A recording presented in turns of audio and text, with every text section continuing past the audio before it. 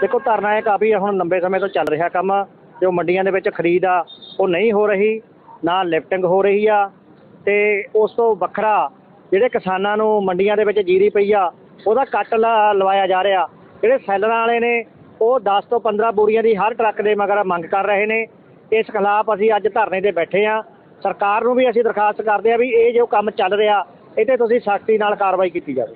ਖਾਣਾ ਮੰਡੀ ਹਾਲਾਤ ਦੇਖ ਕੇ ਆਏ ਆ ਕਿ ਜੋ ਜੀਰੀ ਆ, ਖਰਾਬ ਹੋ ਰਹੀ ਹੈ ਦੇਖੋ, ਜੀਰੀ ਤਾਂ ਖਰਾਬ ਹੋ ਰਹੀ ਆ। ਕਿਸਾਨਾਂ ਦੇ ਜਿਹੜੀ ਆੜਤੀਆਂ ਦੇ ਫੜ ਭਰ ਚੁੱਕੇ ਨੇ, ਅਸੀਂ ਖੁਦ ਹੁਣ ਜਿਹੜੀ ਜੀਰੀ ਆ, ਲ- ਕਿਸਾਨ ਆਪਣੇ ਘਰਾਂ ਦੇ ਵਿੱਚ ਲਾ ਰਹੇ ਨੇ।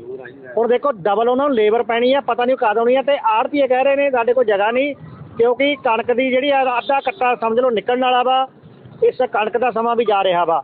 ਇਸ ਕਰਕੇ ਸਰਕਾਰ ਇਸ ਮੁੱਦੇ ਦੇ ਉੱਤੇ ਪੂਰੀ ਤਰ੍ਹਾਂ ਫੇਲ ਹੋ ਚੁੱਕੀ ਆ। ਸਰਕਾਰ ਨੂੰ ਜਿਵੇਂ ਸੈਲਰ ਮਾਲਕ ਨੇ, ਜੋ ਉਹਨਾਂ ਦੀ ਨਹੀਂ ਗੱਲ ਮੰਨ ਰਹੇ ਜਾਂ ਕੱਟ ਲਾ ਰਹੇ ਨੇ ਜਾਂ ਬੋਰੀਆਂ ਦੀ ਮੰਗ ਕਰ ਰਹੇ ਨੇ ਉਹਨਾਂ ਤੇ ਸਖਤ ਕਾਰਵਾਈ ਕਰਨੀ ਚਾਹੀਦੀ ਹੈ ਉਹਨਾਂ ਦੀ ਜਾਂਚ ਕਰਨੀ ਚਾਹੀਦੀ ਹੈ। ਅੱਗੇ ਤਿਉਹਾਰ ਨੇ। ਕੀ ਬਣੇਗਾ ਜੇ ਕਿਸਾਨ ਸੜਕਾਂ ਤੇ ਰਹੇਗਾ ਤੇ ਉਹਨਾਂ ਦੀ ਜੀਰੀ ਨਹੀਂ ਵਿਕੇਗੀ ਦੇਖੋ ਇਹ ਬਹੁਤ ਮੰਦਭਾਗੀ ਗੱਲ ਆ। ਕਿਸਾਨ ਸੜਕਾਂ ਤੇ ਉੱਤੇ ਆ ਜੇ ਕਿਉਂਕਿ ਜਿਹੜਾ ਪੂਰਾ ਦਰੋ ਮਿਆਰ ਆ ਜਦ ਤੱਕ ਫਸਲ ਯਾਰ ਸਹੀ ਸਮੇਂ ਦੇ ਵਿੱਚ ਵਿਕਦੀ ਆ ਤਾਂ ਉਹੀ ਪੈਸਾ ਬਾਜ਼ਾਰਾਂ ਦੇ ਵਿੱਚ ਆਉਂਦਾ।